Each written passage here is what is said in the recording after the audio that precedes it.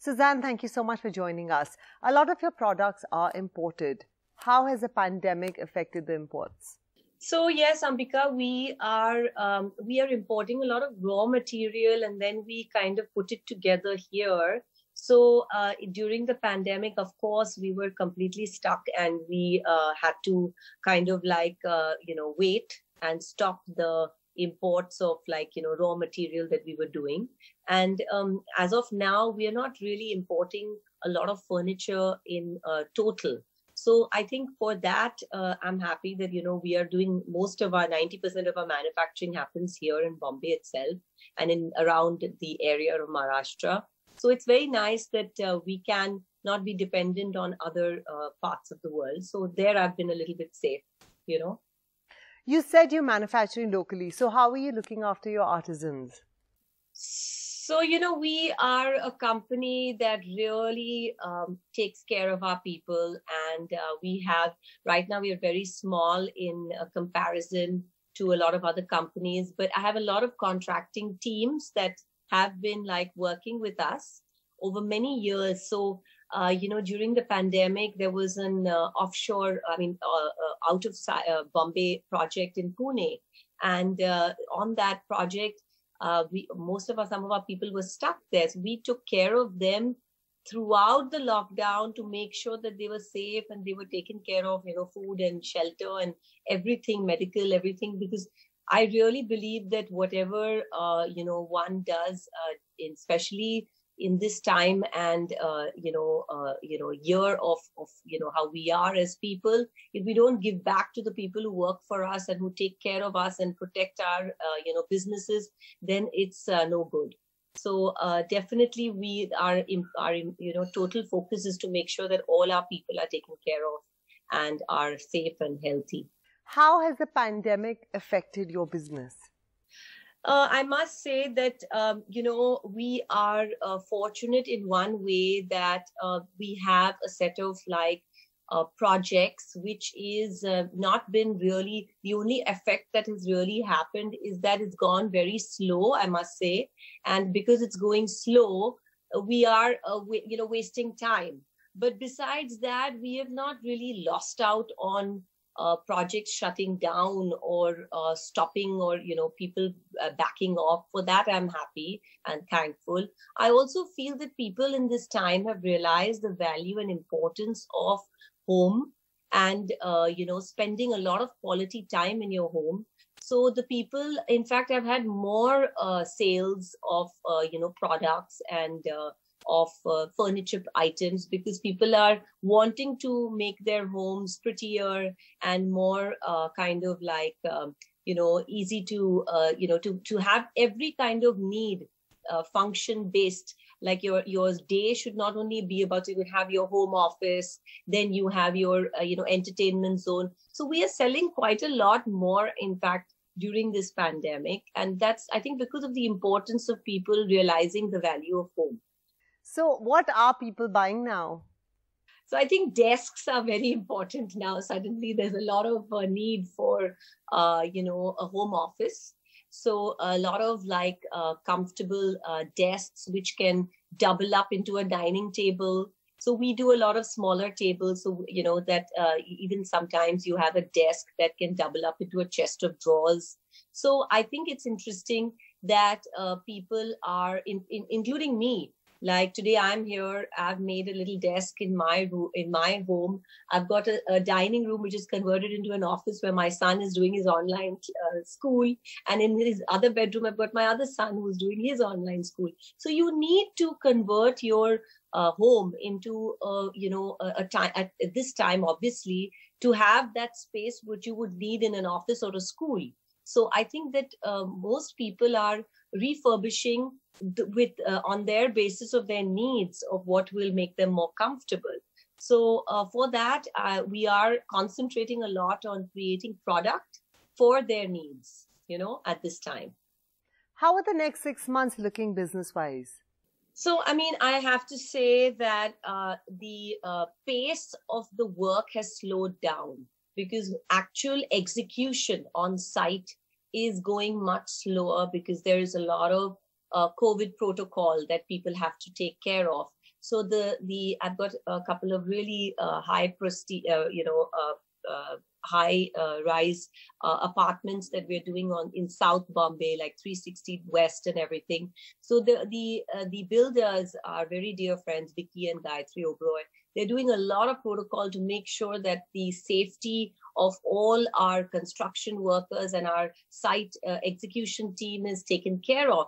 So I think that it is uh, you know in fact it's become a better uh, way to work because you're taking more care of the uh, various things that you know one somewhere somewhere overlooks and i think that i'm happy in fact to keep uh, you know keep our people even more um, you know like safer make sure that the timings are are taken care of we don't make them do any sort of overtime you know respect their uh, uh, their their ways of even giving them that time off. So I think that, you know, we as a, a human race have really appreciate today, uh, you know, the uh, like people and the support system of labor and of manual, uh, you know, artisans and we as uh, you know interior designers or architects or whatever whenever we are doing things we have a way uh, we need to keep more value for them in our uh, in our headspace. That this pandemic has definitely taught us more uh, to give back more. What according to you is the future of luxury retail? So i mean definitely people are not uh, going to uh, be so quick to decide on a big ticket priced uh, item, whether even if it is a personal luxury or home luxury. Uh, I think that it will, uh, you know, uh, depend on. Obviously, there are 10% of the economic status who don't really uh, need to think twice before they do spend. But I think that in totality, all of us, including me, I will think twice before spending on any item whether I really need it because you understand that it's more need based and not more want based, you know. So, um, luxury, I think, will take its time to come back into what it was because people right now are just needing to sustain. People need to take care of their um, of their uh, you know needs without overspending on other things which are not required at this time. And I totally get that because I'm in the same boat. So um, I, I think that it will take at least another year and a half to two years for people to come back into that, uh, you know, buying of without thinking what the ticket price is. I, I definitely think it will take time. Yeah. Your taste is modern with a touch of gothic. Uh, your mother's style is old world English. What influenced your design palette?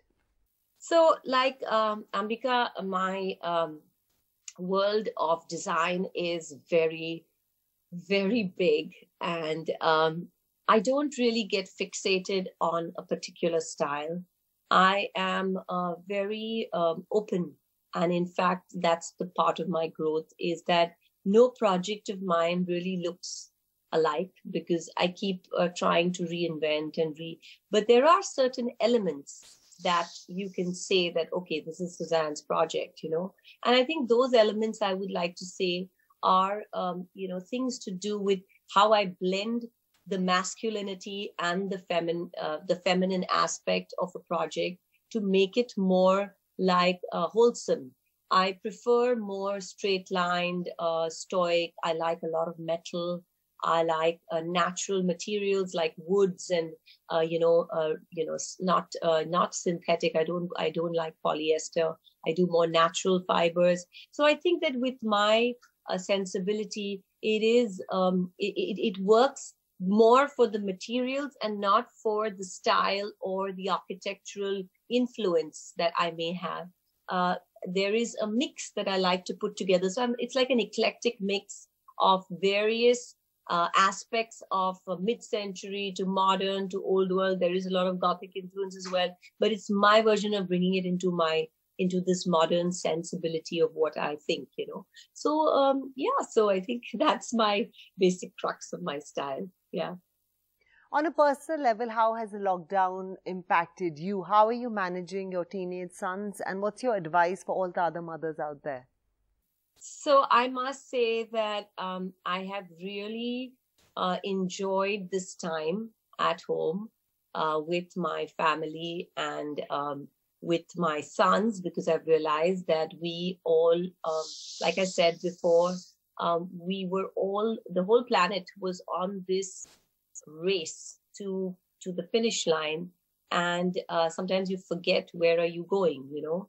So I think that it was a nice pause that made us stop and discover that how important it is to uh, take things a little bit more towards you know concentrating and doing that one thing slowly at a time then pacing it out taking a lot of time for yourself.